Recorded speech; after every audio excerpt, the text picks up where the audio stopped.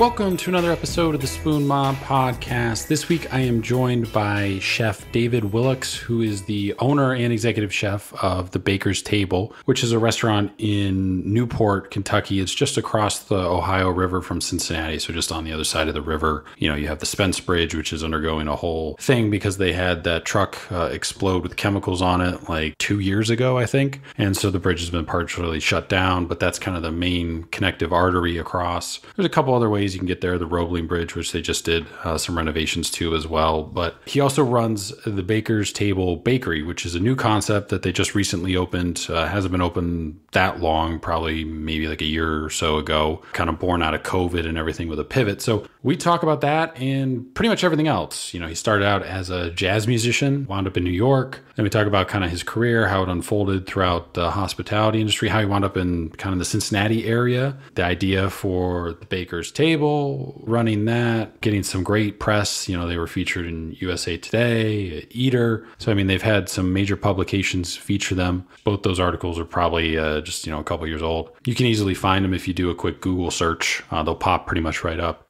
We talk about the Baker's Table Bakery and sustainability, you know, future, what that brings. So it's a really, really interesting, in depth conversation. We have been to the Baker's Table previously. It's a great time. It's a different style of setup. They kind of do the prefix menu now. So that's when we went, which was before COVID, was the last time we were there. We're going to be going back again here shortly in the next couple weeks. So super excited for that to just kind of see how things have progressed since the first time we were there. I can't find the photos that I took. We mostly ordered pasta and then we got the donut holes at the end that they had for dessert. It was on a Thursday because they have a jazz night from like five to seven. But I cannot for the life of me find the photos. So if I do, I'll post them. If not, I'll just post some new shots that I take once we go. You can follow everything on Instagram. You can follow Dave on Instagram. It's at Dave underscore Willocks. It's W I L L O C K S. Also follow the restaurant at Baker's Table Newport and then the bakery too as well at Baker's Table Bakery. So all those are on Instagram. Check out their website, reservations, hours, menus, menu updates, special events too as well. They've hosted a few pop-ups. Uh, they hosted Jordan Anthony Brown did a pop-up last year, who is an alumni of this podcast, and then also Chris O'Hearn of Parcel Wine did the wine pairings for that dinner too, and he's also an alumni of this podcast. So you can check both those guys out too on Instagram and listen to those episodes if you haven't. They're doing a bunch of different events. They got pizza nights too as well um, that they're doing over there. So we're gonna try their pizza too as well. Order a bunch of pies and everything. So that'll be pretty cool. Uh, excited to check out some Cincinnati area pizza since I don't think that's really anything I've really touched on in previous trips in Cincinnati. You can follow us on Instagram at Spoon Mob. Twitter, Facebook is at Spoon Mob One. TikTok is just at Spoon Mob. Mainly everything flows through the Instagram account. So follow us there and then it kind of all gets sent out everywhere else. But that's kind of the main place where we post regular updates and new photos and everything. Check out the website, spoonmob.com. We have profiles for everybody who's been on the podcast, whether a chef, sommelier, restaurant owner, cheesemonger, seafood purveyor, whatever. And any updates that happen since they've been on the podcast, some major updates in their career, we'll put them in there in a little written bio section that we kind of keep a running update for until they come back on the podcast. And when we get to talk about that stuff with them, then we'll take that part out of there because it'll all be encapsulated in a new episode and everything. So we've done that a few times, you know, BJ Lieberman, Matt Hagen, stuff like that. But make sure to check out all the different profiles. There's photos, links to all their episodes, contact information, social media handles, all that stuff is up there. You can also write in questions, comments, feedback. Uh, if you ever wanted to submit a question to get featured on a later episode of the podcast, you can do that through the contact portal or email us directly, spoonmob at yahoo.com too as well. We've had people reach out both ways. So whichever you prefer, whichever's easiest for you. And we usually write you back pretty quickly too as well when we get some time on our hands to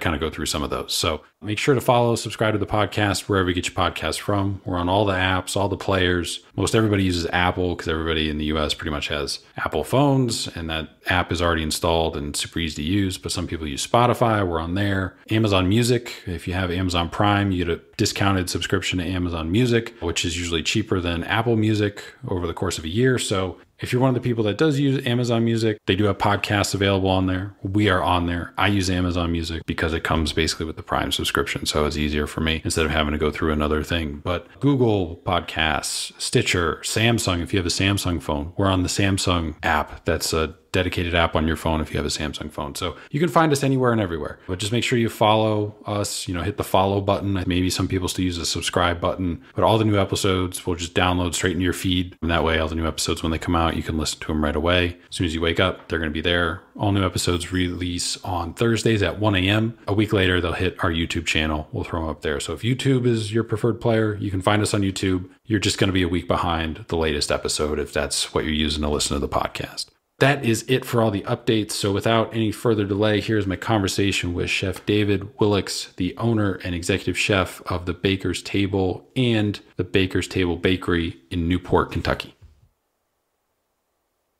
Cool. Well, thanks again for agreeing to come on the podcast and do this. We have eaten at the Baker's Table, had a great time. And it was a fall trip to Cincinnati. I don't remember if it was before COVID or that fall after COVID, but you guys had the prefix layout of the menu at that time. I think it was like a Thursday because there's like a jazz band in there for a little bit too as well. Since then, you've opened a bakery across the street and everything. I want to get into that story there, but I always start at the beginning with everybody all the way back. How did you kind of first get involved with cooking? Because originally you're from Annapolis, Maryland. So did you first get started cooking in high school, college, family involved in restaurants? It all goes back to my mother. She was a great cook. She always cooked for us. I made cookies with her. So that was like my first initial love of it. And then I have a very fascinating way that I got into cooking. I used to be a jazz musician. So I was a jazz guitar player. I have a degree in jazz guitar performance. And so I started getting into food in college, started like experimenting with like different diets, raw food, vegan, just kind of exploring food, being really interested in food. And then I moved to New York City to try to be the world's greatest jazz guitar player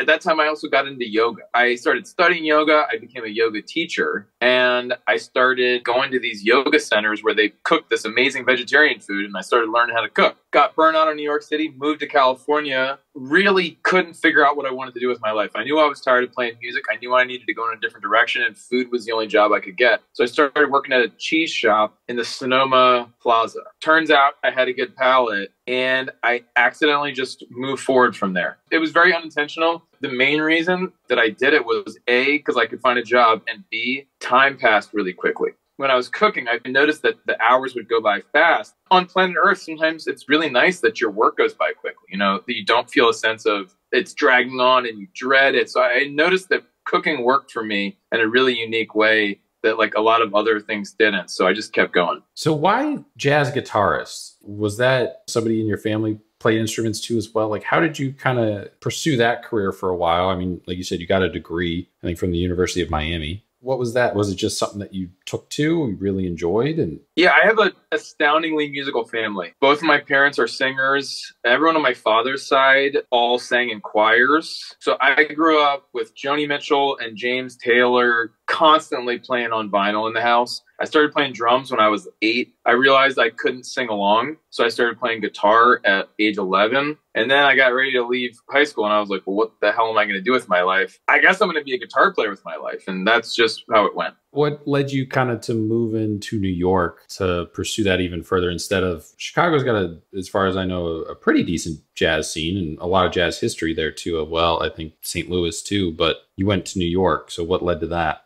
And I think still, like New York, it's the crown jewel. It's the best of the best. And so everyone who's a young jazz musician has a fantasy that one day they're going to go to New York and make it big. And I accidentally got hooked up with a teaching job where I took over someone's uh, roster of students. So I moved to New York City took over a roster of 60 students, immediately had a full paying job in an apartment, and I kind of like got a pretty cherry deal. So it was too good to pass up, so I went. Do you remember the moment that you kind of got burnt out on the music industry? Because we've had a couple people on this podcast who were in bands and stuff like that. They were traveling around and they can all point to one moment where they're like, I don't want to do this anymore. Like, this isn't either it wasn't working or they just weren't really in love with the lifestyle anymore, you know, and, and that was traveling from city to city and grinding it out where you're in one place. But do you have that moment where you're like, I want to do something else? I have a memory. I was playing a gig at a bar in Jersey City and I was aware that the whole entire time that I was playing, the only thing I was aware of is whether other people thought I was cool or not. And I was obsessed with trying to impress other people, and I was obsessed with trying to be technically fancy and virtuosic.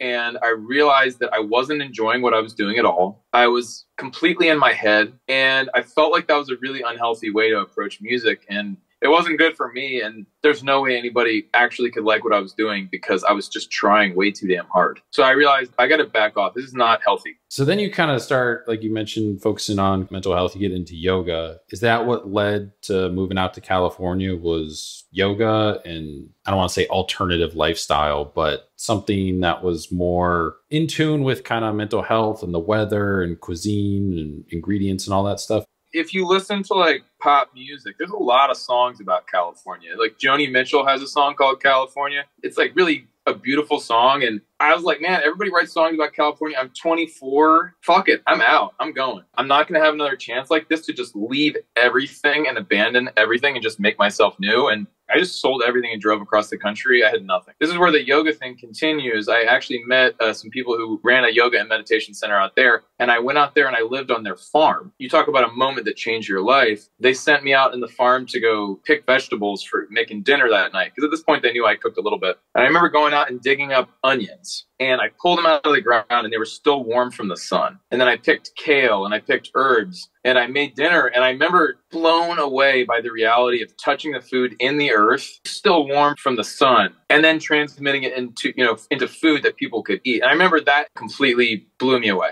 And I wanted that connection a lot more. And I think that, that that's kind of the start of me being a professional cook right there. So how did you wind up at the cheese shop? Was that somebody connected through your yoga group or I just looked on Craigslist. I was wandering around. I was broke as a joke. I, it was a terrible moment in my life, financially speaking. And I just desperately looking for a buck. I just needed a paycheck. And then it turned out, from what I could find, that the guy who owned the cheese shop was like legit cook, right? Yeah, it was actually an Israeli woman. Her name was Meek. She was my first cooking teacher. She was really cool. She taught me knife skills. She immediately tested my palate and realized that I actually had, really could taste uh, things quite well. She taught me how to make soup. She taught me how to do cheese pairings to accompany wine pairings. So she was actually a great teacher. I got an opportunity to move down to Oakland. So I moved to Oakland, California after about a year. And that's when that whole journey kept going. Because now I was in a place with real big deal restaurants. Did she ever run restaurants herself, like in her kind of earlier career and stuff? I'm sure she did, but I didn't really ever find out about that. I worked with her for about six months. Once she kind of tells you, like, you have some natural talent, palate, shows you kind of some skills, you pick it up and everything. Did you ever consider going to culinary school? Very clearly, I started getting into cooking my mom says, Dave, you think you should go to culinary school? You take this seriously? And I said, Mom, look, I've done a little bit of research. Culinary school, let's say maybe I leave a two year program, I owe $50,000 in debt. I've done the research. If I leave culinary school, I'm going to get hired as a salad cook. I'm going to make $11 an hour. So why don't I just get hired as a salad cook now, make $11 an hour now, and just do that on the front end instead of wasting $50,000 first? So I was very sure that I wanted to do on the job training for this particular aspect of my life instead of investing in a college degree because I felt like it was just going to be smarter. If I was going to get shat on, I might as well do it now than later. It turned out to be correct knowing what you know now, operating a restaurant, running a restaurant, being in the profession for a number of years, somebody working in your kitchen now says, Hey, I want to be a professional chef. I want to own my own restaurant one day. Do you think I should go to culinary school? What would you tell them? I would say no way. I'd say what you do is you find the best restaurant you possibly can find where you are the absolute most challenged and you work yourself through every single station in the entire restaurant, including management, until you're to the point where you've mastered everything. And if you find a good enough restaurant with a broad enough spectrum of capabilities and things that it specializes in, once you've exited that full maturation process, you're going to be pretty baked. Now, maybe you want to add things to your resume. Maybe you want to go do the alt MBA program online with Seth Godin. Maybe you want to go study bread baking in France. But at that point, you've really got a substantial amount of maturity and experience. And that counts for more than anything. So, like you said, you moved down to Oakland. Is that the first place you wind up working? Is that SYDA, that how it's pronounced? So that was another yoga and meditation center. I had uh, kept wanting to learn more about spirituality. I was learning meditation there, and the head chef walked up to me and he was like, Hey, Dave, are you going to come and cook with me today? And I said, Yeah, man, I'll be there. And he goes, Great, I quit. And then I go into this staff meeting, and they're like, Hey, guys, we're in a, we have a big problem. We have this celebration event where we're feeding the community. We're feeding 400 people in, in one week. Who's going to cook? And I, I raised my hand. And I was like, I'll do it. And they were like, You don't know how to do it? I'm like, I don't care. I'll figure it out. And so, like, I just had this sense of like I was going to try. And so I just put my myself out there right, and cooked for 350 people. Somehow I pulled it off. And then uh, I ended up becoming the head chef at that place. And that's where I learned how to make Indian vegetarian food. Uh, and that's also where our motto at the restaurant, Feed People with Love, comes from. That was what I was trained in at that place was that the most important thing that mattered was the feeling that you had. So you're cooking for all these people, you know, this big group of people, everything it goes well. You keep kind of doing it. You know, obviously they don't have giant events all the time, but still kind of you're the resident chef essentially at this yoga commune? It's a retreat place there was like 50 people who lived there full time and then they would have meditation events for the public almost every night and then they would have these big meditation retreats with like two three four five. The most people i ever cooked for was 550 people is this different types of yoga? Is this all kind of one style? Is this also i've ran into some people that do like uh the silent meditation retreats too where like you don't talk like the entire like weekend and stuff like that? Yeah there was a lot of cooking in silence actually. I would say mostly it was meditation. So when you do that for a while what led you to wanting to move into a an actual restaurant? I had done that for four years and all these people in the community were saying to me, David, when are you going to open your own restaurant? When are you going to open your restaurant? And I'm looking at them and I'm like, dude, I'm a hack. I don't know what you guys are talking about. Like, I can do this thing, but I've been to great restaurants in this area. I suck at cooking. I felt like a fake. And so at a certain point, I said to myself, like, I can either continue along this cush path that I've got kind of figured out, or I can challenge myself. So I quit. At this point, I was 29. And I said, I got to get a job at a restaurant. I have to learn how to. At that point, I've never cooked meat before. And I had a team of like eight people that did all the prep work, and I came and assembled everything. So, like, I also didn't have good knife skills. So I basically just walked around and found a place that was hiring on the line and they're like you're 27 and you've been the executive chef of a restaurant. Why do you want to work here and i was like well i need to learn. And they're like all right dude whatever. I proceeded to just kind of like work at four or five places for about nine months each. I found that i would work at a place for nine months and then i would have some sort of taken what i needed from that place or i would have like a philosophical issue with the owner i would say like man i can't get behind you anymore. I got out i got to get out of here. And i think like during that time i learned a lot about different ways of approaching you know station management menu construction how to line cook very well, how to have mental organization, verbal communication, how to manage stress, how to move quickly, like all the the skills. I learned a little bit at each place, and I also learned a lot of different styles. And I think that was really really informative for me eventually becoming an entrepreneur and saying like, how can I take the best of what I learned, and how can I let go of the things that I think sucked and how can I try to make an offering to the world of like what I think is the best restaurant that I could make. Did you purposely target different styles of restaurants to work at for those nine month periods? Like never two Italian places, never two French places, or anything like that? How did you decide on those kind of four or five places that you wound up working at? I think I knew that I wanted to work in a farm to table space. I knew that I wanted to work in a space that mainly focused on Italian, French, and Spanish cuisine because I felt that geographically it was closest to American cuisine. Geographically, the weather and the climate of Italy, France, and Spain is the closest to America. So I thought that those cuisines would translate to indigenous American ingredients the best. I think if you look at a, a global map, there's a lot of that where if you look at, I think it's the latitude lines that certain ingredients just work even if they're with different countries because they're all in kind of the same climate yeah, whereas like I had been cooking Indian food and I felt like there was no way I could authentically cook farm to table Indian food because the majority of the ingredients had to be imported from across the world. Indian food was out. I couldn't really specialize in Indian food. I knew that I wanted it to reflect the place that I was in. I wanted to have my life be built around a cuisine that was local to me. So I think I was looking for places that were in that space. And gradually and gradually, I got closer and closer to Chez Panisse, uh, which is the restaurant from Alice Waters. My only regret I did one stage shift at Chez Panisse, and I ended up working for a year and change for one of her disciples. But I was too afraid to go for working for her, and that's my only culinary regret. Is that I wish that I had gotten to cook for her because she's my idol. Do you think that was because she was your idol and it's kind of one of those don't meet your hero type things? Or was it because you felt some sort of imposter syndrome or anything like that? But you've mentioned a couple times where it's like you didn't think your knife skills were good enough to be in a kitchen but then you're you know running a restaurant and, and same kind of thing with the jazz where it was like you felt not taking it serious or, or kind of showing off and just trying to instead of maybe focus on the music trying to focus on the other aspect of it. So was that the reason or have you never really analyzed it if I look back, I didn't have authentic confidence. I was slowly building it through real experience. I knew I was building confidence. The day that I staged there, there was five people volunteering. This is back before there was like this current labor shortage that we're experiencing where like, you know, they had five volunteers and they had a waiting list of 10 people to volunteer. So I was just like honestly like intimidated.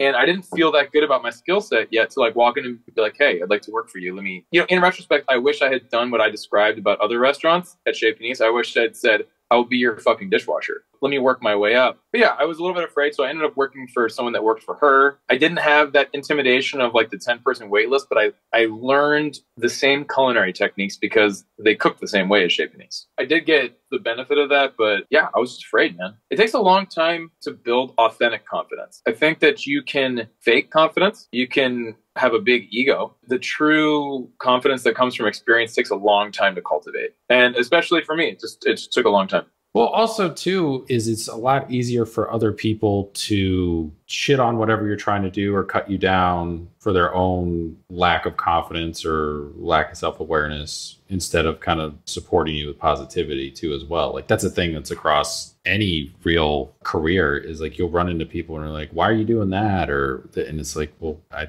think I'm okay at it and I enjoy it. And they're like, you shouldn't do that. You're not good enough. When you constantly run up against those people, you know, that can be kind of deflating too. Is like, all right, if everybody keeps telling you no on the side, it's kind of like you have to believe in yourself. Otherwise, you'll eventually kind of listen to them too as well. I feel like my the majority of my critic was inside myself. I think it's actually a strength because it meant that I wouldn't settle for my own mediocrity. Like I had such a strong drive to really be great at something that I think I was just criticizing myself. Not many people criticized me. Like I think people were very supportive of what I did. It was like inside, I knew that I could go deeper. So yeah, the, the majority of it was me. And I think ultimately a creative endeavor, you know, like opening a restaurant or even every time that you come up with a new dish, it's a creative endeavor. Um, I think that that's scary every time because you're putting a part of yourself out there. You're saying like, I think this is beautiful. I think this is good. I, I'm offering this to you. There's a vulnerability in that every time. You kind of just have to get used to it. Like it's just a little scary every time. That doesn't mean that you shouldn't do it though.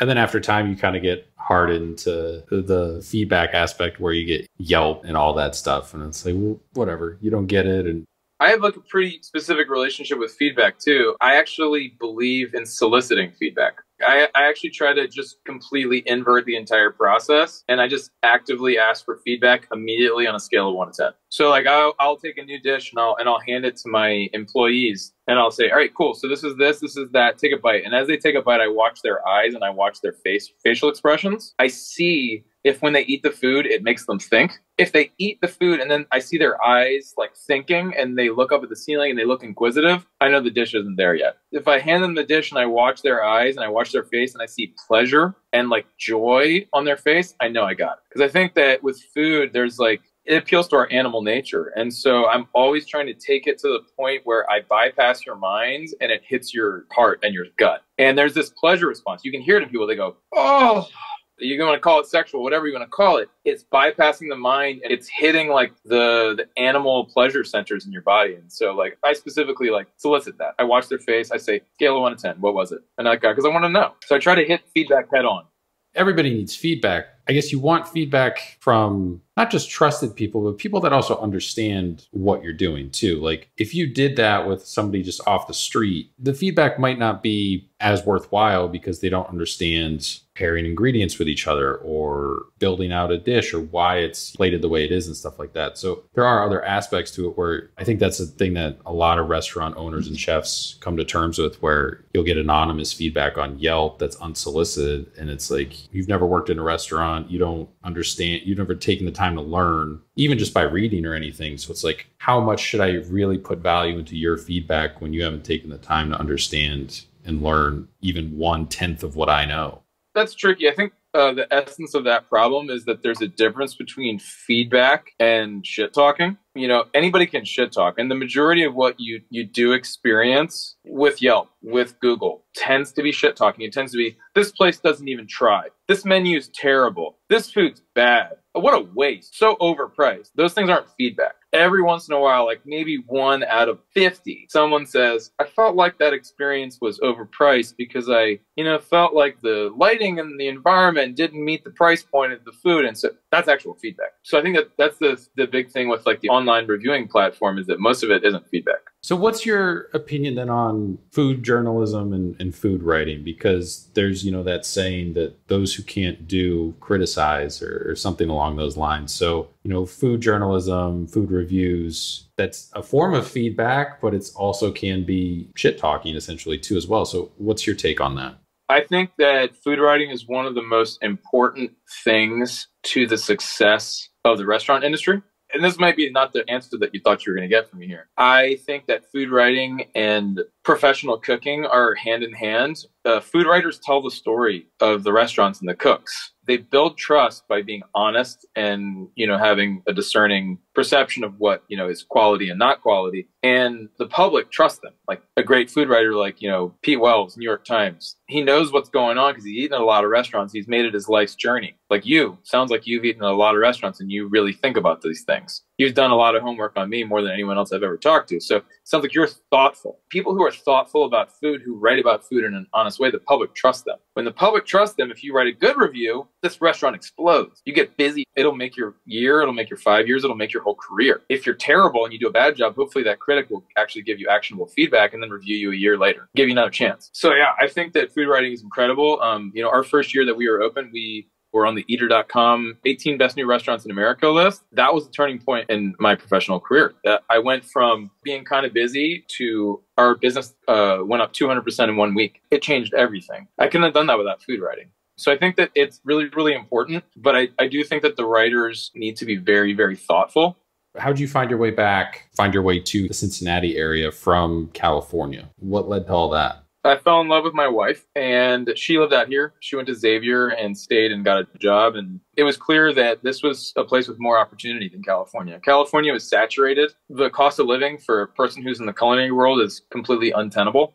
And so I came out here and I was like, oh my God, rent's affordable. Uh, I think there's space in the market, you know, to do cool things. Um, so it just was obvious that this was a place that I could I could grow. And uh, we ended up buying a house in Newport. People kept saying to me, "When are you going to open a restaurant? When are you going to open a restaurant?" And I was like, "Man, I can't open a restaurant. I'm 32." And then I, you know, my wife found out she was pregnant, and I was like, "Okay, I'm opening a restaurant." Because I knew that you know the only way I was going to be able to really support a family long term was if you know if I was an entrepreneur. Now the first couple years of that kind of rough, but you're building a business that hopefully is going to sustain you financially for the long term. But before you opened the restaurant, you started kind of a catering business, right? You were doing like in home dining, private events, catering, and stuff. Yeah, I did a bunch of stuff. I worked for Jose Salazar at Salazar Restaurant, Mita's Restaurant. I left there. I was on the opening team of Allez Bakery in OTR. I knew I wanted to work with bread. I knew bread was going to be central to my business concept. I wanted to make 100% of my bread. So I worked there. And then I left. I sold like pastries to cafes and I started doing pop up events in my home. I did them at some local spots. I did them at our favorite farmer, uh, Annie Woods, at her farm, Darkwood Farms. So, yeah, we did a bunch of events in the year of 2018, signed a lease for the Baker's Table restaurant on Monmouth Street in uh, June, and then we opened in December. So, the time frame in this whole thing was like crazy. During that whole time, my wife was pregnant, by the way, and she gave birth in September, and the restaurant opened in December. So, my daughter was three months old. It was wild. And she designed the restaurant, right? Yeah, she's actually a humanities teacher. She she teaches creative writing in the humanities, and she just happens to have a ridiculous eye for design. And she designs our home, she designs our businesses, and she doesn't design for a living though. She doesn't want to. Every chef has that thing that hooks them, whether it's they gravitate towards pasta or meat and butchery or whatever. So, what was it about bread for you? Was it working with your hands? You're also spending so much time within the yoga community, and a good chunk of that community is pretty anti bread. That's a great point. You know, when I was in California, a couple places I went to made their own bread, and I thought that was the coolest thing ever. And I just was really intrigued by it because I honestly just loved eating it. I went to this place, it was called Pizzaiolo. It was the sister restaurant of the place that I worked. They had this cafe service in the morning, and actually, that cafe service became the inspiration for the bakery. They made their own bread, they pulled them out of the pizza oven, and then you could have toast with house made jam, espresso drinks a couple of pastries. It was like insanely cool. I used to go like twice a week. It was the best. And so I just would watch the guy make bread and I would just hang out, drink a cappuccino and watch him make bread. And I just got into it. And then I tried to do it on my own and I was like, damn, this is hard. From that moment of me getting hooked to when, you know, I opened the restaurant was probably about three years. It took me another three and a half years to really, really get our bread where I think it should have been. So it's been like an eight year journey. So it all started uh, selfishly. I loved eating bread and I wanted to have it available all the time. and I think in a lot of the ways for me as a culinarian, that's where it came from. So I, I freaking love food, man. And I, and I don't want to rely on somebody else. What if they don't cook it the way I like? In a way, it's, it's been a selfish pursuit in a way because I just love food. When you're doing kind of the events and the pop up and everything before you actually open the restaurant, looking back on that, was there a big takeaway from that? Whether it was, it gave you time to kind of develop your menu or your style that you were going to incorporate in the restaurant or just logistics and figuring out kind of all that stuff and what you need and what you didn't? A big thing that we did was come up with a name. The name The Baker's Table is there was a gentleman, he was a baker, his name was Jean Paul. He had a bakery called Paradiso in Anderson Township in Cincinnati, and he got sick and he was selling all of his things and uh, went in and looked through everything and I saw this incredible table. It was 10 feet long. He had been baking on it for 25 years. I was like, this is insane. And he sold me that table. A uh, funny story, he quizzed me before he would sell me the table, though. He said, you know, what are you going to make on my table? And I was like, I don't know, scones. He's like, what flavor of scones are you going to make? And I was like, currant and orange zest. And he goes, what are you going to do to the currants? And I was like, I'm probably going to soak them in boiling hot water and sugar before I put them into the scone so they're not too dry that they don't dehydrate the scone. He goes, okay, you can buy the table. So he, he like quizzed me uh, to make sure it's reasonable. He, he was passing down his life's work to me in a way that was one of the things that happened during that year. And I think, you know, I started developing my style, which, you know, I, I don't even know what, what to call my style. I call it rustic seasonal cuisine. It's really just me seeing what the farmers are producing and challenging myself to come up with something cool with that. I think that's really the essence of, of what I do and what, you know, my chef Porter and I do is we invert the creative process. We don't say, okay, I would like to make a beef bourguignon with asparagus. Let me go find asparagus. I think that's the way the conventional food system works when it decides what it's going to put on a menu. Um, we just invert that process. We say, okay, Farmer Annie, what do you got coming in next week? Okay, you got uh, you got turnips, you got this, you got that. Okay, so what menu can we write that's going to be relatable for people to work with what we've got? And so that's I started just kind of developing that and realized that we wanted to start out focusing on brunch. Um, and that was literally so I could get home and see my daughter. That's the only reason we did brunch. I was going to ask that because it's a weird thing to start a restaurant and then you're only open for like breakfast and lunch service and not dinner. I wanted to try to have a, a, family life for the first year of my daughter's existence, and I was afraid that I would never see her otherwise. So yeah, that was the original idea was we would be a daytime restaurant. And I think that's part of the reason we managed to land on the national scene so fast is we have a daytime restaurant it sources almost exclusively local produce. It makes 100% of its bread. There's not a lot of places in the country that are doing that. And so immediately I was in this like very small micro market. In the business world, you'd call that a unique selling proposal. That was our concept. When you find the space for the restaurant, did you purposely want to be on that side of the river?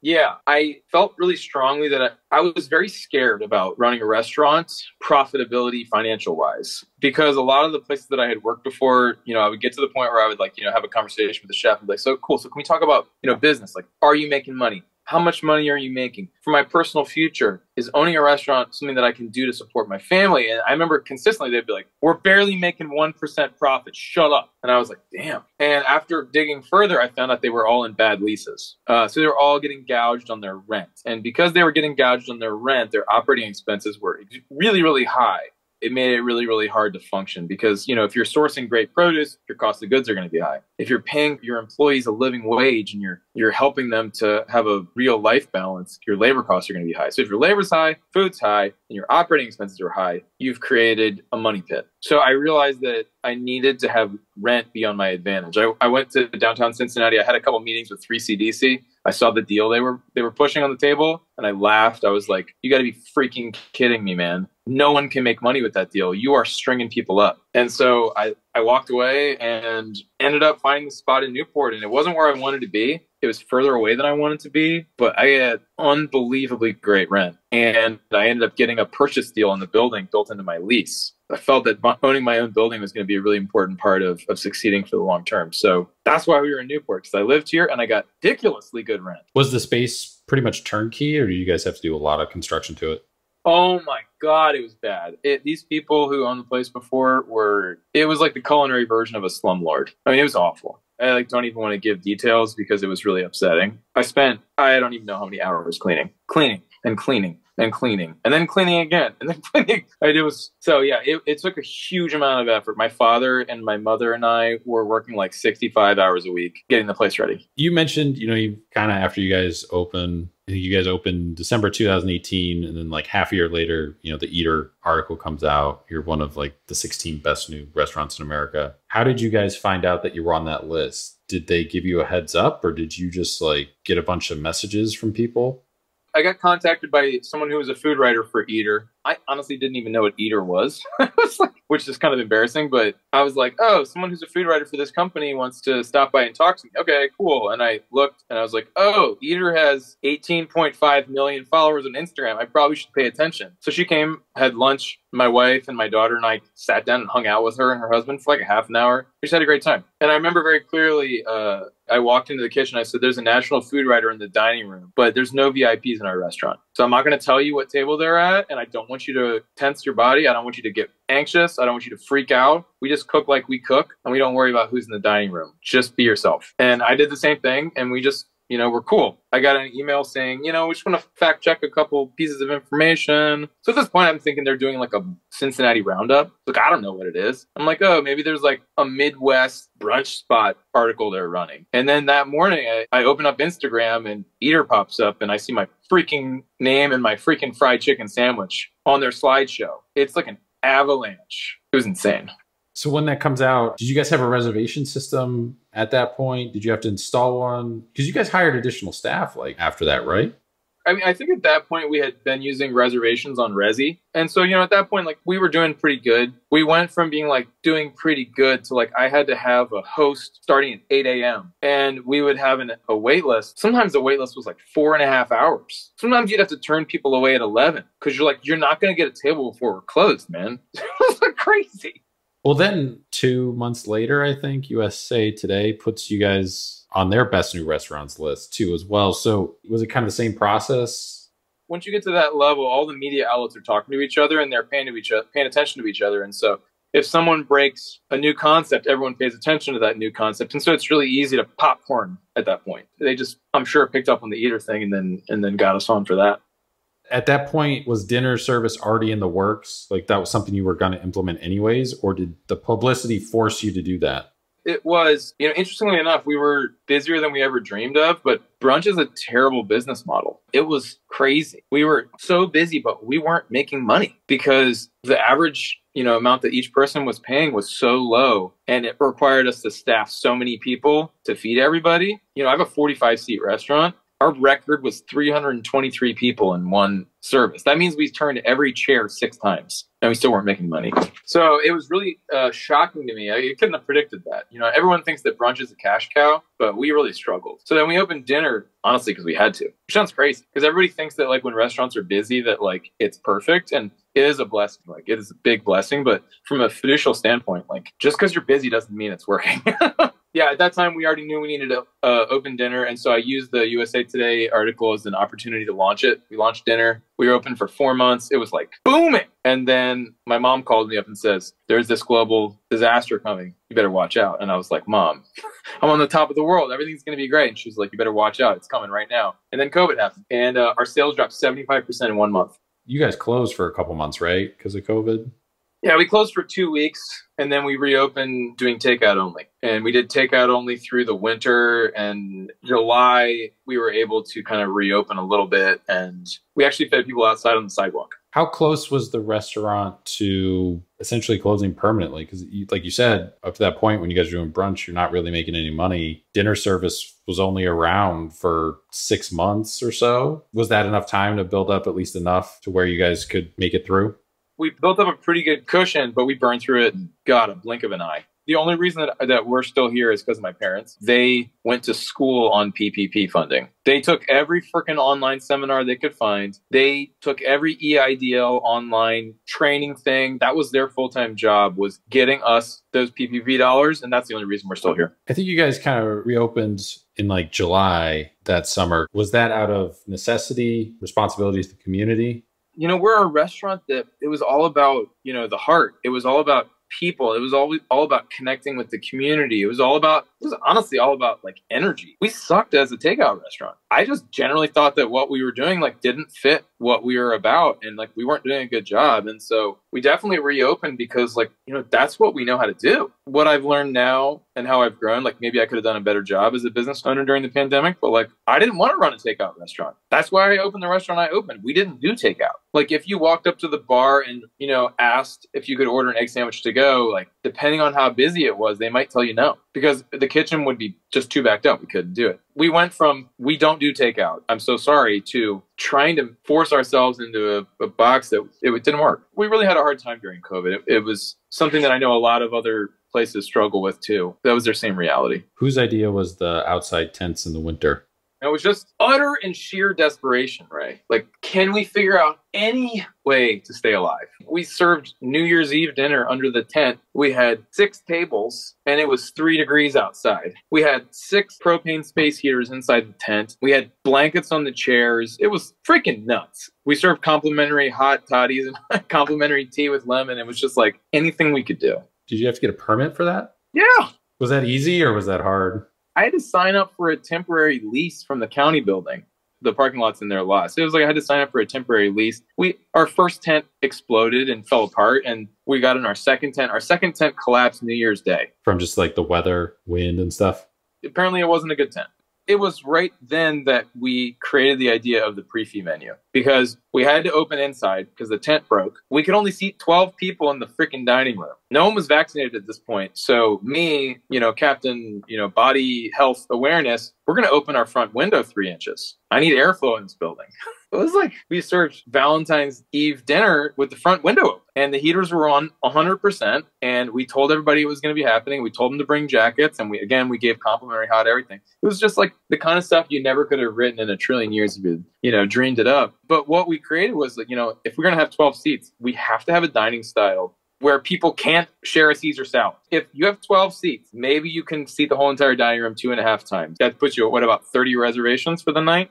So if you have only 30 available reservations, you have to get as many dollars from each seat as you possibly can in order to survive. The old reality of like people coming in and sharing a pasta and sharing a salad was gone. We couldn't do it anymore. Also, those people were always unhappy. They shared a salad and they shared a pasta and they told us that they were hungry at the end. And we were like, yeah, we know you shouldn't have done that so we decided, you know, like, what if we create a dining style that, that shows people the ideal for how to eat at our restaurant? And what if it not only helps them, but if it also helps us? We make more money and you have a better time because you're going to eat the amount of food that's actually going to satisfy you and nourish you. You're going to try as much as possible this dynamically rotating seasonal menu. At this time, we started butchering only whole animals too. So you talked about like, you know, the interest in, in butchery. So at that point, we had been making 100% of our pasta since day one. And Chef Porter and I, who's my friend from Oakland who runs the restaurant now, we should just do whole animals, man. We should just do it. So we only have 30 covers. Like we should just go for it. So he just buys a lamb and we just go whole lambs, whole ducks, whole chickens, whole fish, it's been a hard time getting whole pigs lately, but whole pigs. We realized that it was a dining style that we really thought was beautiful and we liked serving it. And the kitchen was much more efficient and our guests were happier. And so we just stuck with it. We're still doing it. What led to the idea to open the bakery? Was it you needed more space? The space across street was just an opportunity? Like, how'd that come about? You know, we're a restaurant called the Baker's Table, and I'm trying to bake bread out of this kitchen with a convection oven, and we're baking out of cast iron pans. And I'm just like, this is not scalable. If I get as busy as I was before after COVID rebounds, I cannot keep this up. There's no way we can keep doing this. So if we're going to be the Baker's Table, if we're going to live this name, I got to have a bake. Otherwise, I'm just going to be making like crappy, eh, not as good as it could be bread. And, and we've already discussed how I, I'm not able to tolerate mediocrity.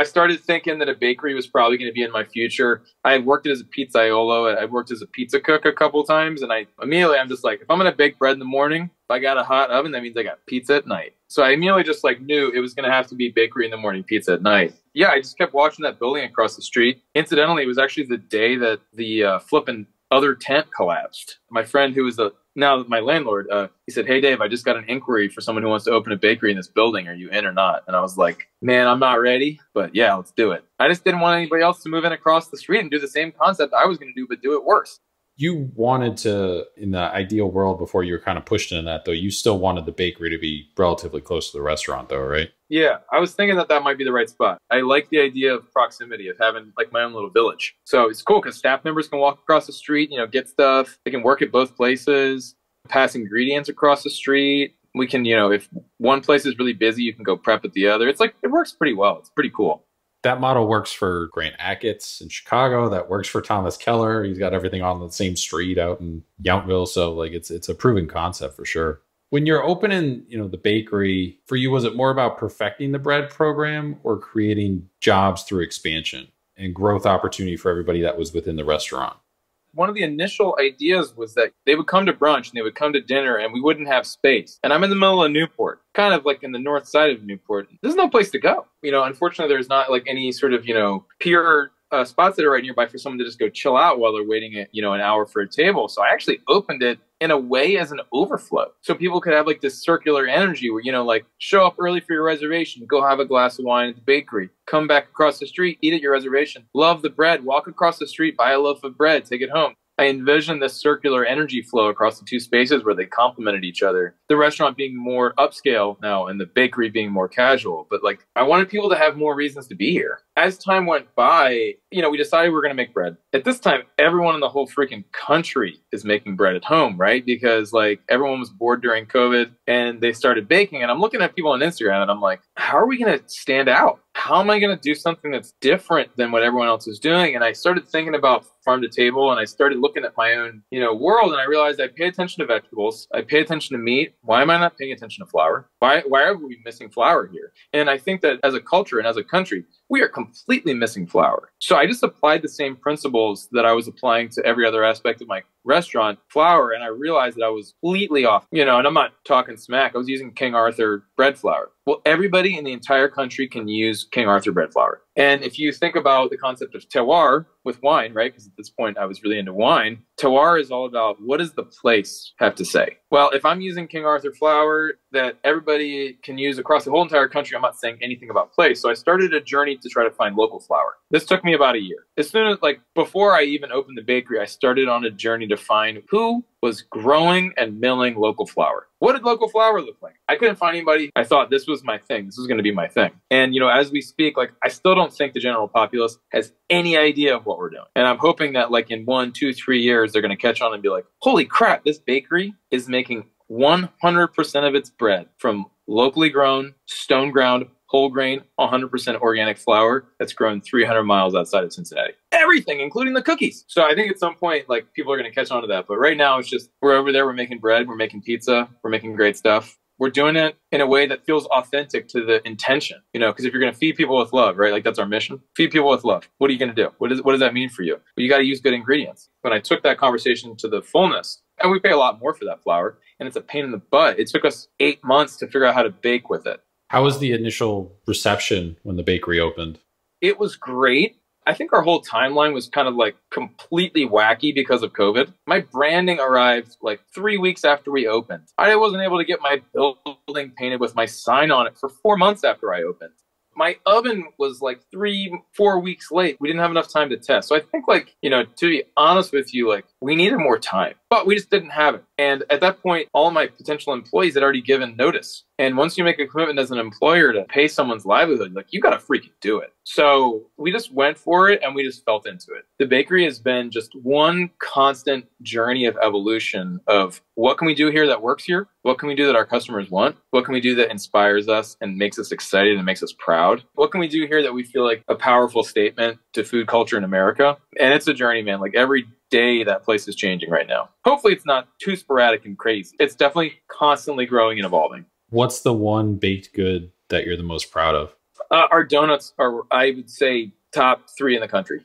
This woman, her name is uh, Sarah Ouellette. Humorously, her Instagram handle is Donut Spanker. She just popped in the front door one day and was like, "Hey, can I work with you guys?" And she's moved up to be our head baker now the name Donut Spanker is not a joke, man. She's serious. The donuts are out of this world. Like, I think she ran one last week that was like matcha pastry cream, matcha glaze, chocolate cookie crumbles, chocolate sauce. And she makes everything. She's making everything from scratch. And so, like, it's insane. So the donuts are insane really proud of the pizza. I think the pizza is world class. And I think our bread is amazing. So like I think pizza, bread, donuts are probably like the three things for me that are like that's what I'm trying to hang my hat on. Cincinnati has a handful of top notch, top quality bakeries. Even if you just go to the Cincinnati area, there's a handful of you guys. Is that collaborative environment, competitive, somewhere in between? I don't think it's any of those things. I think that they're all in their own spaces geographically. They're all in their own spaces in terms of market share. You know, 16 Bricks is the, biggest, and they have a ridiculously huge facility. And they make bread for wholesale, and they can operate at scale. They get truckloads of flour. Allez Bakery, which is where I used to work, is an OTR. They're in a completely different demographic they don't make pizza. So I think like we're all niched out enough that we're not in each other's way. And we're all also kind of like not doing what each other are doing. Like we're all intentionally, I mean, I'm the newest kid on the block. So the onus is on me to carve out my own space. But I think we're all kind of like doing our own things in such a way that we're like not really in each other's way. How challenging was staffing for you know you're opening this bakery covid's still around. A lot of people left the industry whether they were forced out or they were already headed out covid you know lost jobs and stuff. And some people didn't come back found other industries or whatever. So how challenging was that to staff at that time? And how were you able to kind of overcome it? Yeah well we actually had to make a really weird decision which was we decided to pause brunch indefinitely at the restaurant because I did not have the labor force to run dinner at the restaurant, brunch at the restaurant, AM bakery at the bakery, and pizzeria at the bakery. Right. So that's four what we would call in the industry like four services, operating four services. I didn't have the labor force to operate four. You know, brunch has its woes fiscally. And I'm like, okay, what do I know for sure? The restaurant dinner is doing beautifully. I know I'm opening a bakery, which means I have to be open in the morning. I don't know how you're going to be a bakery and not be open in the morning. And I knew the business model of the bakery required pizza as well to support it. So I just made the decision. I had to pause, for which like our diehard fans, like I think, just curse me to this day because people love our brunch. We're really good at it. It's beautiful. So that was like the biggest labor crunch was like I just didn't have enough people, and I still don't. You know, we're thinking in 2023 we can put together some sort of scenario where we can reopen a brunch service, whether that's brunch and lunch or it's brunch and additional dinner shifts. We're not really sure yet, but like we would like to do that because we love our community. People want brunch from us. We want to give it to them. You know, we're going to try to find a way to make it work. But you know, the, the biggest surprise of the labor thing for me, we would advertise for a job. And I will tell you,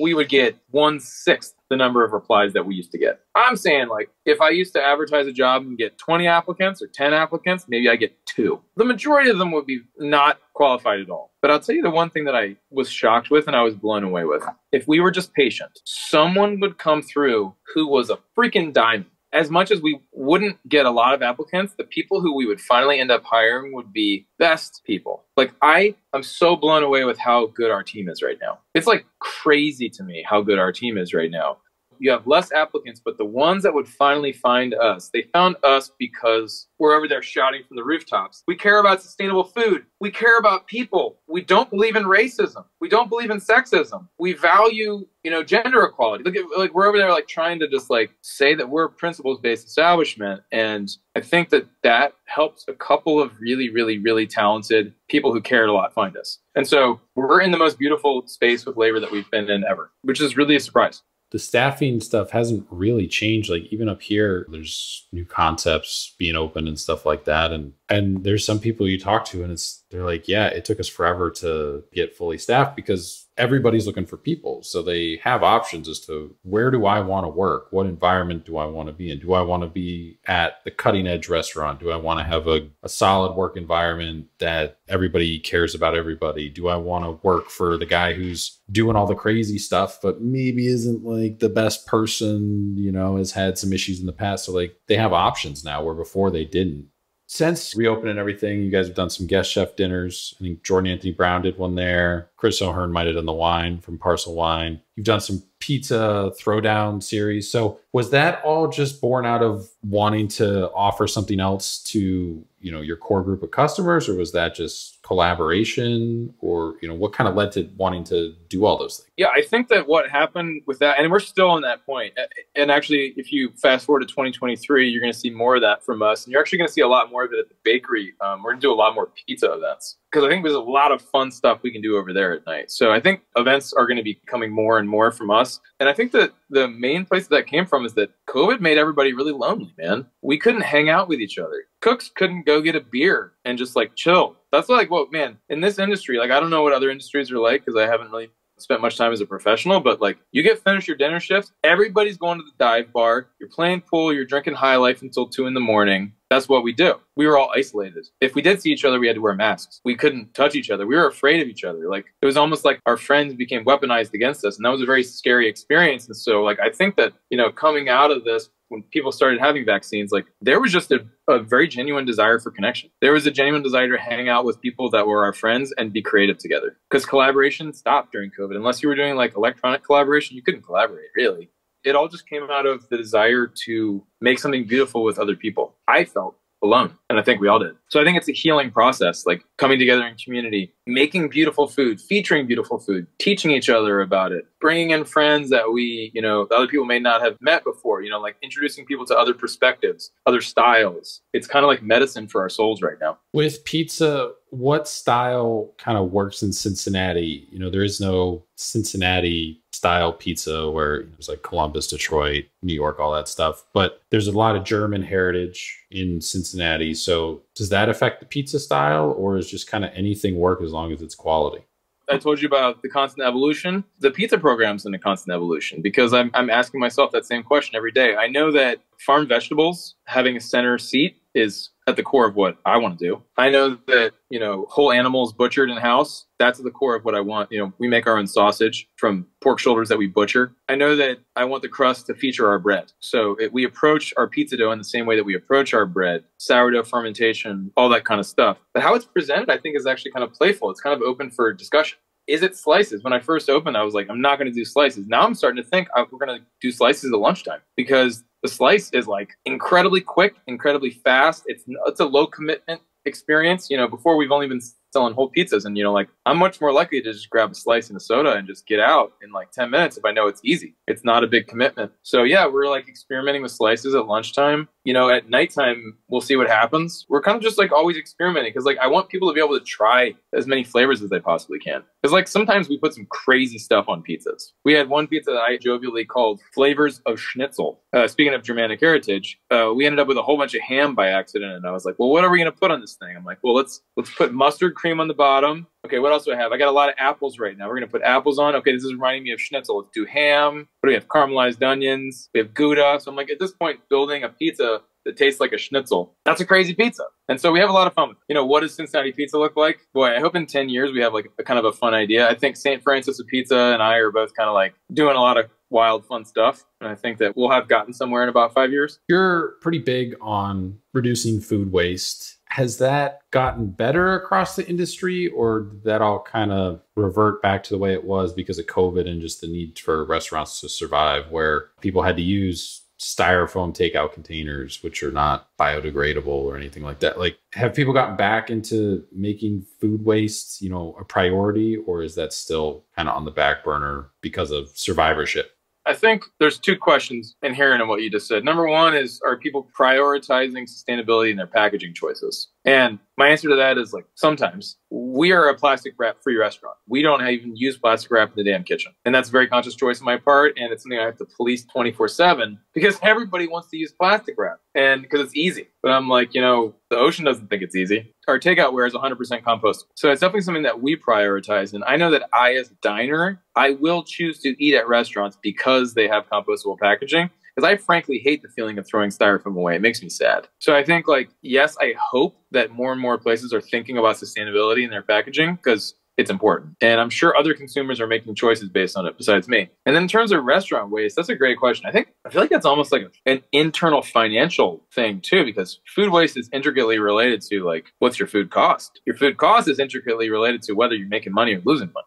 I definitely can't speak to anybody else about that. I definitely really wish more restaurants were recycling. I definitely know like a lot of places I go into them and I see like, you know, they're just throwing everything in the trash can. And that makes me want to cry. Yeah, unfortunately, the recycling is a, a big issue because now that China doesn't buy it, like up in Cleveland, I mean, maybe a year or so ago, there was like a, a news thing that came out, and they're basically like, yeah, everything just goes into the landfill now because nobody will take it. It's unfortunately outside of my purview as a cook. I don't know how to fix that part of the industry. Hopefully, as time goes by, I can help pressure other people around me to make more sustainable choices. And hopefully, they're going to figure out recycling because it's in order for us to survive as a species, we have to figure out how to reutilize our resources. And if we're just using them once and getting rid of them, then we got a short trip off a plank. Would you want your restaurants to become like zero carbon footprint? Is that something that you'd aspire to, or is that just not even like possible? Like you can get close to that mark, but getting all the way there is. Yeah, I can tell you that uh, we bought our building and we have converted the outside area into sort of like an eco park garden. So we're growing our own herbs and tomatoes and stuff like that. And our dining room staff, like this is again the staff being incredible. They did the whole thing. They're going to plant all these butterfly positive plant types. They have this whole very, very thorough plan. And something I started thinking about is like, well, okay, so what does it look like if we move towards a zero emission restaurant concept? What does that look like? Do we put solar panels on the roof? Do we have solar hot water. It's something I've started thinking about. I think the main question is also like, what does the kitchen look like? How do we cook without relying on gasoline? natural gas. So that's something that Chef Porter and I talk about. Is like, you know, if we fast forward our lives in 10 years and the price of gas is way higher because, you know, whatever has happened with OPEC, like, how are we going to be able to keep cooking? We think we're moving towards live fire. Trees are a sustainable resource if they're harvested properly. We think doing our protein cookery with live fire is where we're headed. And uh, we probably think we're headed towards induction burners. Electric for the things in that space, and then live fire for the things that need to move. So I think we do spend a lot of time thinking about what does a sustainable restaurant look like in 10 years? and how can we set ourselves up for that? What do you enjoy more these days, cooking or baking? I am very overjoyed with my decision to open both places because they complement each other. You know, the restaurant is more formal, the bakery is more wacky and fun. The restaurant, the cooking is more like I get to saute, I get to roast, I get to make pasta. The bakery, I get to I feel like I don't like one more than the other. I feel like they're both um, a respite and a beautiful contrast from each other. So my favorite thing is I just go back and forth to wherever I'm needed. And usually I get to do something fun that I haven't gotten to do in a while. I'm just generally tickled because I, I, do love cooking and I love baking and I love pouring wine tableside and I love doing all kinds of fun stuff. And so it's, it's almost like my own little playground where I always get to do do something fun and new. Since you've been involved in the food and restaurant industry in the Cincinnati market, Cincinnati area, how has that changed since, you know, you first got into it? What do you think still needs to change and where do you think it's headed? I actually opened the restaurant, the Baker's Table, because I didn't see the kind of restaurants that I wanted in town to eat at. And I, again, did something for my own self. I was like, if I, if I don't see places that I necessarily want to spend a lot of time eating at, maybe I should open my own.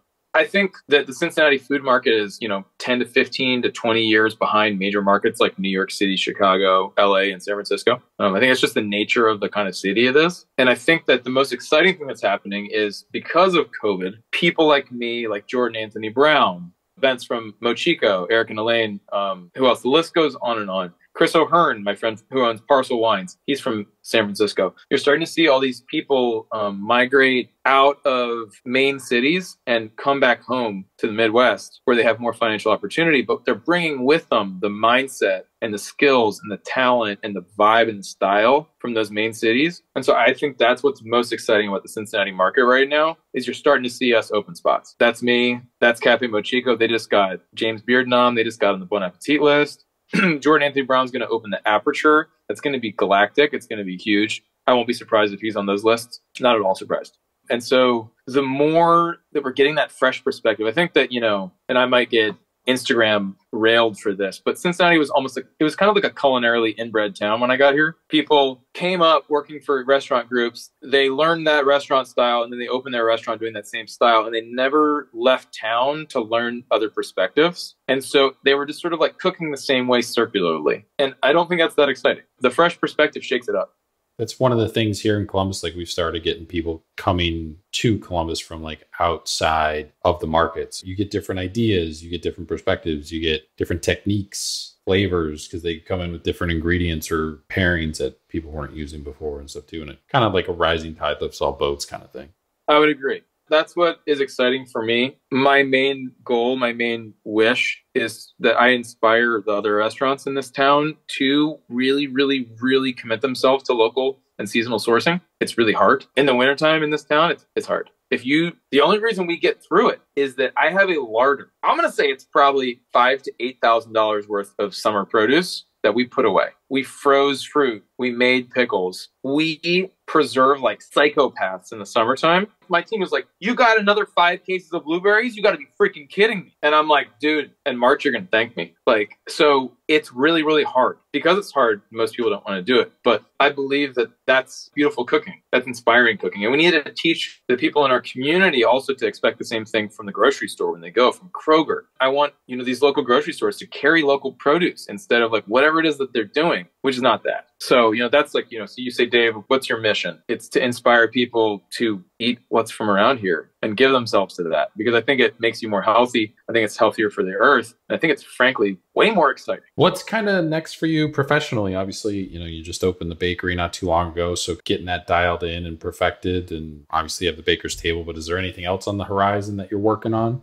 I'd say 2023, getting the bakery dialed in is crucial. Getting back to profitability across my restaurant groups is, is actually my only goal in life, other than having a beautiful family. But uh, we're going to start really focusing on education. You know, I talked to you about my intentions with food culture. I don't have the ability to teach cooking classes. I've thought about it a lot. Uh, I like it, but it's too hard. So we're going to start doing some online cooking series, get a YouTube channel going, share with people some of the ways that we approach food and share that, and then start working on manuscripts for cookbooks. I think I got probably five cookbooks in me. Continuing to do fun events and just like explore, do great stuff, and then education. I think education is really like the way forward for us as like a 10, 20, 30, 40, 50 year legacy restaurant, hopefully. This next question comes from previous guest on the podcast, Chef Brendan Miller, who's one of the co-executive chefs at Jollity in Dayton, Ohio. He left behind for you. What local restaurant have you had your best burger at? Oh, that's a sad one. My friend Jimmy, he ran OTR Chili, and Jimmy didn't make it through the pandemic. He closed about six months ago. Jimmy was crazy because the dude was butchering whole cows. He would get freaking whole cows in and he would butcher them and grind all the meat and use it for Cincinnati chili one ways and two ways and three ways. And then he would make burgers with his freaking in-house butchered cows. And they were the best damn burgers I think I've ever had. So OTR Chili, man, ordering family meal from them like once a week for our team. I was eating burgers from them like once or twice a week. I was eating tons of OTR Chili burgers and then they went out of business. And there's a hole in my heart ever since. What's a question you want to leave behind for the next guest? If you could be on any beach in the world with any musician, dead or alive, what beach, what musician, and what are you drinking? The next question comes from one of our listeners. Uh, they wrote in Over the course of the next 10 years, is it possible for the Newport Covington food scene to rival Cincinnati's? 100%. I think there's actually possibility for it to exceed Cincinnati quite easily. And the reason for that all goes back to rent. Young entrepreneurs are attracted by being in a great neighborhood that like seems like it's going to be hot, but also they're attracted by places that think they can make money and survive. And because Newport and Covington and Bellevue are still under the radar. Real estate prices are still under the radar. So if I can get more of my homies and buddies to open ridiculously great spots out here, I think there's a lot more opportunity financially out here right now still because rents are lower. Because 3CDC doesn't operate these properties in the same way. Totally a possibility. This last set of questions we ask to everybody who comes on the podcast, so compare and contrast across all the episodes. Who was the biggest influence on your cooking career thus far when you look back on it?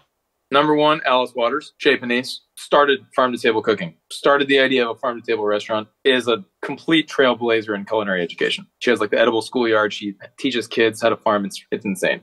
Number two was my main Indian cooking teacher when I was at the yoga center in Oakland. Her name was Asha. To this day, probably the best cook I've ever met in my life. She wouldn't taste the food because she didn't want to corrupt its beauty and its its essence by being selfish. She could smell if it had enough salt in it. I'm not kidding. It was freaking crazy. Uh, so in terms of like just sheer talent, uh, man, she was amazing. She was unbelievable cook. What's one kitchen item that's not a knife that you can't live without? Cast iron pan. Restaurant you recommend that isn't your own. So person gets stuck at the airport, stuck overnight. You guys are closed. They reach out. Hey, where should we go eat? You point them in this direction.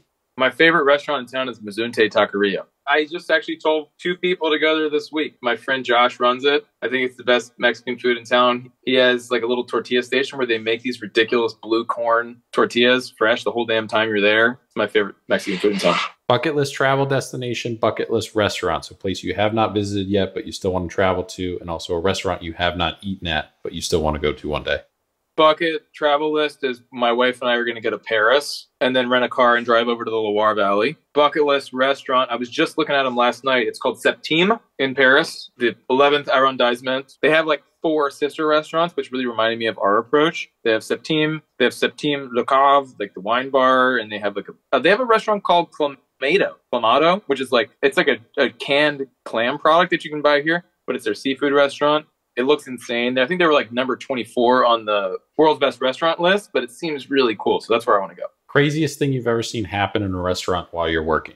When I was at that yoga center, we had these woks that were I I'm gonna say three and a half feet wide, and we had these burners that were like they looked like jet engines when you would light them. The flames would be like eight inches high. They would go it was it was psychotic. So I was working with this older gentleman, and he's going to deep fry something, or he's going to do. I'm not sure what he's going to. I think he was making bok choy stir fry. He dumps his oil in the wok. He rages the burner, and he forgets about it. He walks away.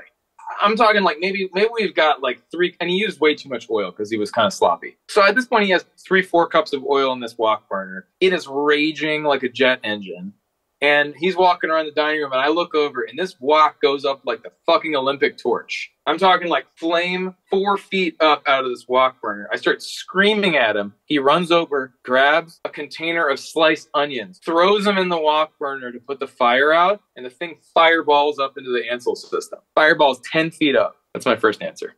Food or drink guilty pleasure? Is there anything, fast food, candy, whatever, that you know is unhealthy for you, but uh, you just can't help yourself?